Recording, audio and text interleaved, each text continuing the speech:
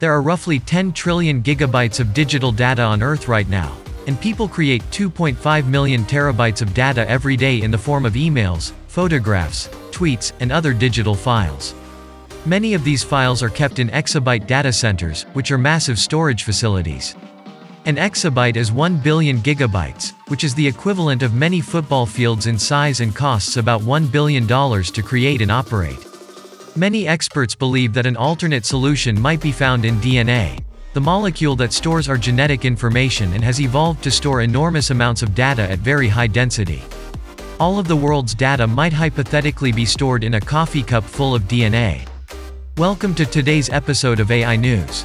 In this episode, I will show you how with the help of emerging artificial intelligence systems, we will soon be able to increase our data storage capabilities by up to 10,000 times, how exactly this will be done, and finally, when we can expect the first consumer-oriented devices that make use of this technology.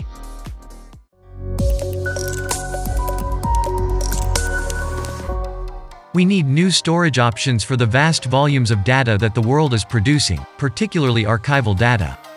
DNA is a thousand times denser than even flash memory, and it also has the unique feature of consuming no energy once it has been created. You can write DNA and then save it indefinitely. Scientists have previously proven that pictures and pages of text may be encoded as DNA. However, a simple approach to choose the appropriate file from a pool of numerous DNA fragments will be required. Bathe and his colleagues have now proven one method for doing so, encasing each data file in a 6 micrometer silica particle that is tagged with short DNA sequences that expose the contents. The researchers proved that they could properly extract individual pictures saved as DNA sequences from a batch of 20 photos using this method. Because of the large number of labels that could be utilized, this method could handle up to 1020 files. Text, pictures, and any other type of data are encoded as a series of zeros and ones in digital storage devices. The four nucleotides that make up the genetic code, A, T, G, and C, can be used to encode the same information in DNA. G and C, for example, may be used to represent 0 and A and T, respectively. DNA has a number of other characteristics that make it a suitable storage medium. It is highly stable, and synthesizing and sequencing it is relatively simple but costly. An exabyte of data stored in DNA might fit in the palm of your hand due to its great density. Each nucleotide, equivalent to up to 2 bits, is roughly 1 cubic nanometer. The expense of manufacturing such huge quantities of DNA is one stumbling block to this type of data storage. A million terabytes of data would now cost $1 trillion to write. Bathe believes that the cost of DNA synthesis would have to drop by six orders of magnitude to compete with magnetic tape, which is often employed to store archival data.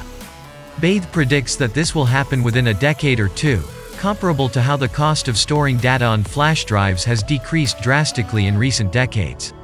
Aside from the expense, another major drawback of utilizing DNA to store data is the difficulty in distinguishing the desired file from the others.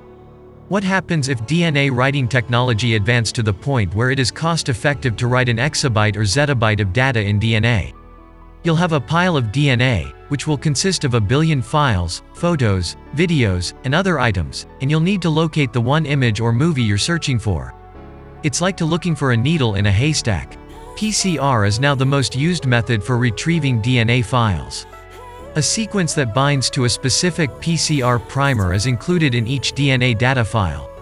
The primer is introduced to the sample to locate and amplify the target sequence in order to extract a specific file. However, there is a risk of crosstalk between the primer and off-target DNA sequences, which might result in undesired files being extracted.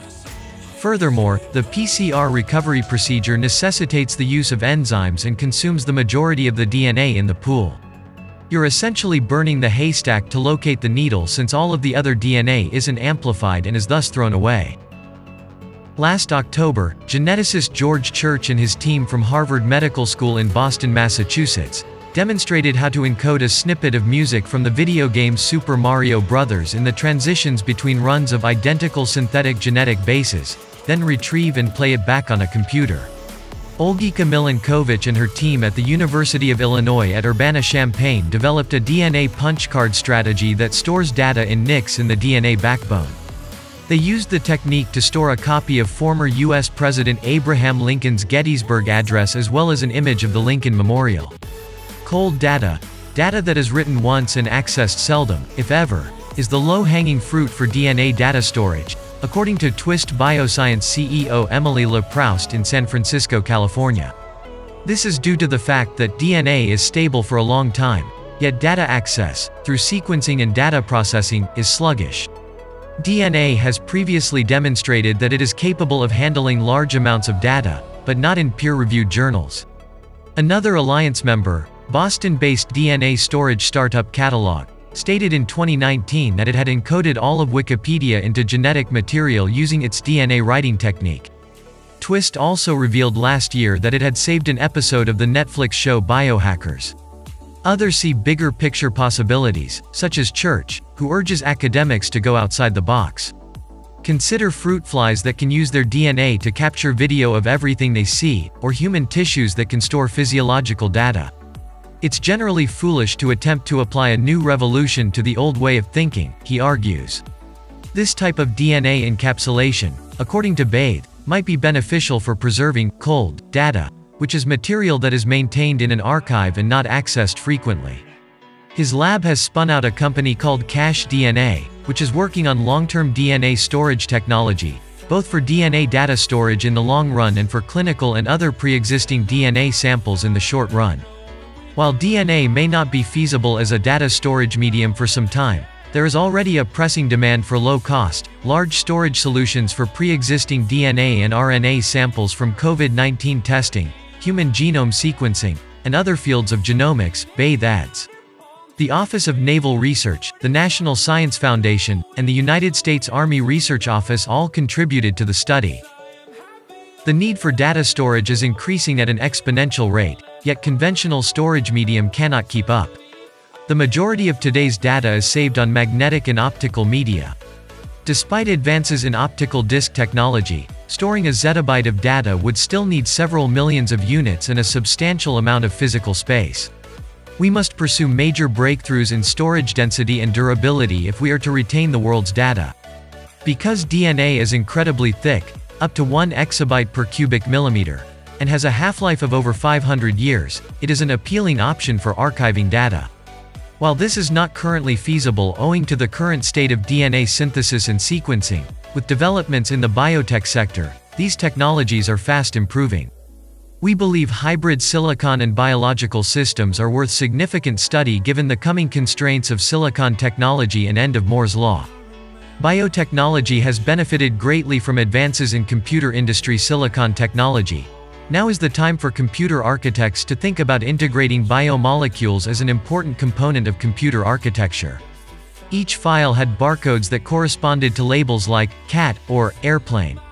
When the researchers wish to extract a certain image, they take a sample of the DNA and mix it with primers that match the labels they're searching for, such as cat, orange, and wild for a tiger image or cat, orange, and domestic for a house cat image.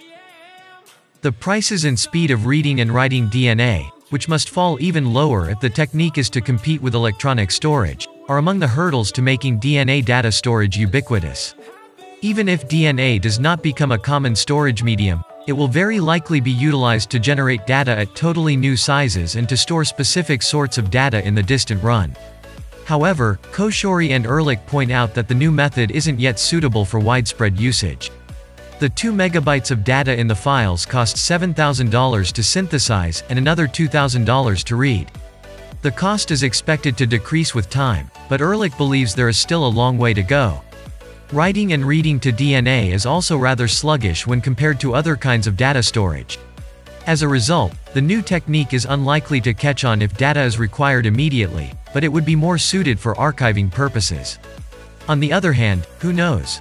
Perhaps one day, those massive Facebook and Amazon data centers will be replaced by a handful of DNA pickup trucks. So, what is your opinion on this entirely new approach to storing digital data?